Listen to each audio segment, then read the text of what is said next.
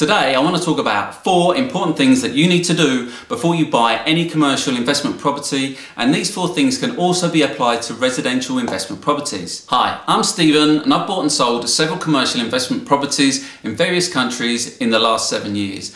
And I've picked up a few things along the way that I'm hoping to share with you in today's video that can potentially help you avoid some costly mistakes. So I'm going to be covering leases, planning, sales agents and the sellers and how these combine to enable you to make an informed decision about whether you want to be buying that commercial investment property or not. So first up, we're going to be talking about leases. So the key thing about leases with commercial property is that we want to be looking at the term of that lease, the length of that lease, how long they're going to be staying in that property. So that's called a term. And now that has a length of time. Normally it's multiple years. So this can range from anything from say a one year lease, which isn't very good, up to maybe a 25 year lease or even longer in some cases. Typical terms are like three years, five years, or a 10 year lease.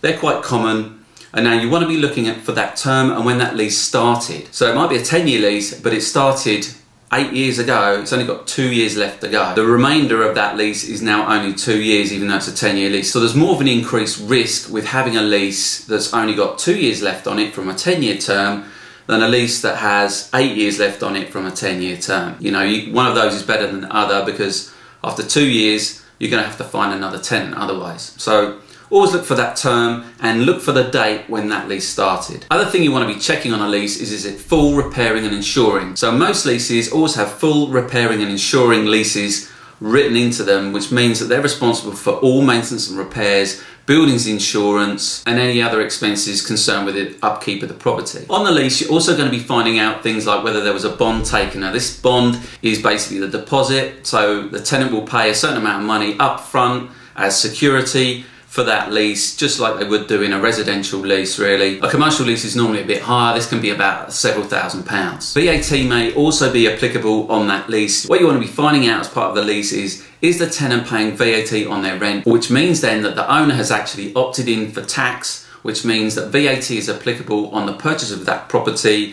as well as the tenant has to then pay VAT on the rent. But the way around VAT is to buy property trading as a going concern in your company and that you have to have opted in for tax before you buy that property. Speak to a professional about how to go about doing that, but that's essentially what we've done when we've bought VAT properties when a tenant's in situ and they're being charged VAT and the owner has opted in for tax. If you're getting some value, please remember to smash that like button. In the lease, you're also going to find out how much rent they're going to be paying, how often that's going to be paid, and when the rent reviews are. So the rent is normally quarterly in advance, and there's rent reviews depending on the length of the lease. These can be every few years or five years, whatever the term is, but these will be stipulated in that lease when the review's going to be taking place. Now you might find that these rent reviews have not actually taken place and there's an opportunity with buying that property that you can go back and review that rent and see if it should be increased and it might be that it's increased by market rent or it might be increased by CPI over the time of period that, that it's been owned. So you need to find that out and then there might be an opportunity that you can go and increase the rent based on a rent review that hasn't actually occurred for whatever reason. One of the most important things that you want to be checking on a commercial lease is whether they're inside or outside the Act. What this means is it's referring to the Landlord and Tenancies Act of 1954 and the sections 23 to 28 inside that 1954 Act that talk about the security of tenure. Now, this is all to do with whether the tenant has the right to go and rent that property once they've kind of gone beyond their agreed term. If they're inside the Act, that means they can renew that lease and they can just stay inside that property at that agreed amount of rent forever, essentially. So what you want to be doing is when you're looking for a commercial property and checking the lease is seeing if it's outside that Security of Tenure 1954 Act sections 23 to 28. And they have to specifically say that they're outside the Act and they'll reference that inside the lease. Here's an example of a lease where they're stating that they're outside the 1954 Act, so you can kind of get an idea of what you need to look for when you're checking out the lease. So the next important thing is planning. Planning comes into play because you want to be checking what's the usage for that property, what's been permitted for that property. So you also want to be identifying other potential uses for that property down the track. So commercial property has several usage classes that are assigned to it. This class system has changed in September 2020 where the majority of stuff have now been moved into class E, but the old class system is still valid until July 2021. But we want to be checking the usage classes for commercial property because this enables us to determine what use the tenant can have in that property and also what potential opportunities there are to change that property in the future. So when I'm buying a property, I also want to be looking at what the potential opportunities are for that property in the future. Whereas if you're just buying a property where there's nothing else to be done with it, it's just buy and hold, there's no further opportunities to change the use of that property and therefore improve the revenue or improve the value of that property. You might then go, well, I'll pick a different one that has more opportunities, it has more layers where those opportunities can be realised. So I try and pick properties that have got initially something like they've got a good income, they've got a good tenant, but there's also opportunities for some planning, and this kind of comes along with like permitted development rights. If you've got PD rights, it only takes you then 56 days for approval for that planning permission to change something from say commercial to residential as one permitted development right that a lot of retail properties have available to them right now even in conservation areas. PD rights don't go to grade 2 listed buildings so you kind of avoid those if you're looking for PD rights. Now when we're doing our due diligence on the planning, what we want to be looking for is where that property is located because then we want to go and look at that local planning authority's website for that particular property in that location and find out has that local planning authority put anything known as an Article 4 direction against any permitted development rights. Now you'll find Article 4 directions public available on local planning authorities' websites and these will tell you things like whether you can convert a particular dwelling to a HMO for example or whether you can convert offices into residential. So there's Article 4 directions that, that will stop you from converting offices to residential and also stop you from converting residential properties into HMO, houses of multiple occupancy. A piece of software that enables me to do this very quickly so I don't have to keep going to loads of different local authority websites is Nimbus Maps. Now I'm going to link to that below where if you sign up to Nimbus Maps you get a free month and I get three months of extra use. There is a free version of Nimbus Maps which is quite good just for giving you like the title boundaries and things like that on the property but it doesn't give you access to the planning information. You have to be on a paid subscription to be able to get the planning data on Nimbus Maps. But it's a real time saving thing and if you're really going to be looking at commercial property as an investment I think it's worth the investment in the software to enable you to really quickly delve into this type of information quite quickly. The other benefit is that you can also see other planning approvals that have taken place nearby, so you can kind of get an idea then of what would be permitted for that property that you're looking at because it's been approved in nearby properties. So when we're looking at planning, we also want to be looking at whether that property is in a flood zone. Now this can be easily done by going to this website here, put in the address and then you'll see whether it's in a flood zone or not. Now this is an important consideration when you're going for mortgages because these impact what type of loans that you can get on property, especially if you want to convert from commercial to residential. If it's in a flood zone, this is going to potentially impact your ability to do that on the ground level. The next important thing that when you're first starting out, you might be a bit reluctant to do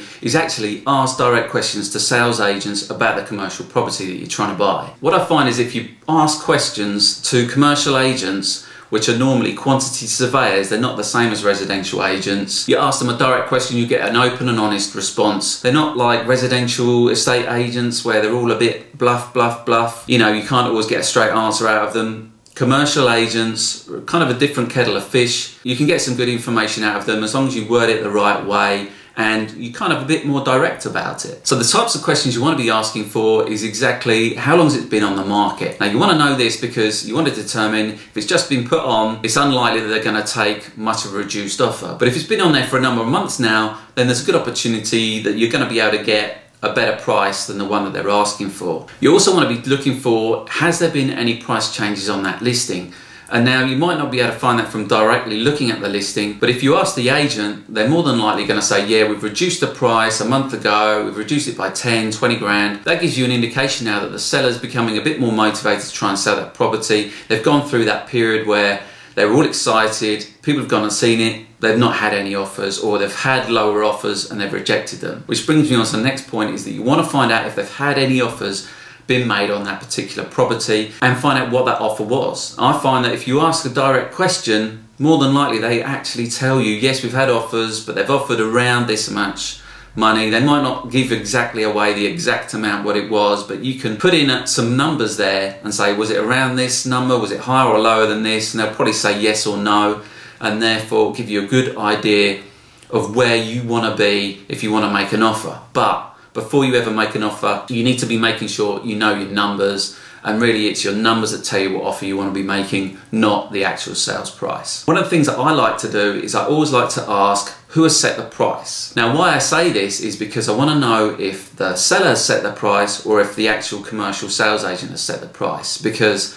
if the seller set the price then I know that it's probably unrealistic. If the commercial agent has set the price, then it's probably a more realistic price based on, say, the tenancy and the square footage of that property and comparables in the market. The seller with a tenanted property will also put down what the income for that property is. Now, what you want to be finding out is is that actual income or is that a pro forma income? Now, pro forma means that it's basically potential. And what you want to be looking for is the actual income, not the potential, because the potential is your opportunity to improve that property, but you want to be buying that property based on what it is actually generating today because that is what dictates the price for that property. When speaking to the agent, you also want to be making sure you can get a copy of the title and you also want to be finding out who owns that property. Is it a company? What's the company name? Is it an individual? What's the individual's name? The reason why you want to be finding this is because if it's a company, you can go and look up that company and you can go and find out what other properties they might own, who are the directors of the company? How old are those directors? So Nimbus Maps also has company information that's available once you've searched for that property. So in Nimbus Maps you can do a search for that property and it will tell you who the owner of that property is. It also tells you whether they've sold any other properties in the last 18 months. What you might find is that that one company owns several properties and they might be selling several properties off and this information can be quite interesting because it might mean that that company is selling off lots of different assets that they now own for one reason or another. Now this can also give you the opportunity to go direct to that company and ask them if they want to sell any of their other properties and you can find out which properties they own through Nimbus Maps as well through a simple search. So the owner information is very important to find out when you're looking at commercial property because this is going to give you good insights into why they're selling and you know, whether they're going to be flexible on maybe their price or not. So you can go and get the information, as I said before, from the agent, also get this information from Nimbus Maps. So once I've got this information, I like to go into Companies House and do a look up on that company and go and find out some more information about the company. So how's it structured? How many directors are there? Who's the secretary? Where's their headquarters? Where are they working from? So you can also go inside and look at their annual reports and look at what their turnover was, their sales revenue,